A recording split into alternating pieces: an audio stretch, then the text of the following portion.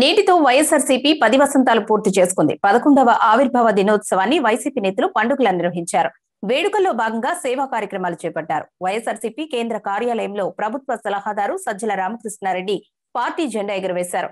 YCP ఆవిర్భావం సందర్భంగా అక్క చెల్లెమ్మలకు చీరల పంపిణీ చేశారు. దేశ చరిత్రలోనే వైఎస్ఆర్సీపీ ప్రస్థానం చాలా ప్రత్యేకమని పార్టీని సరికొత్త రాజకీయ విధానాలతో నడిపిన చరిత్ర వైఎస్ జగన్ దన్నారు సజ్జల రామకృష్ణారెడ్డి. వైఎస్ఆర్ మరణించినప్పుడు ప్రత్యేక పరిస్థితుల్లో ఒంటరిగా పార్టీ పెట్టారని ఆ రోజు నుంచి నిరంతరం వైఎస్ జగన్ ప్రజల్లో మమేకమయ్యారన్నారు.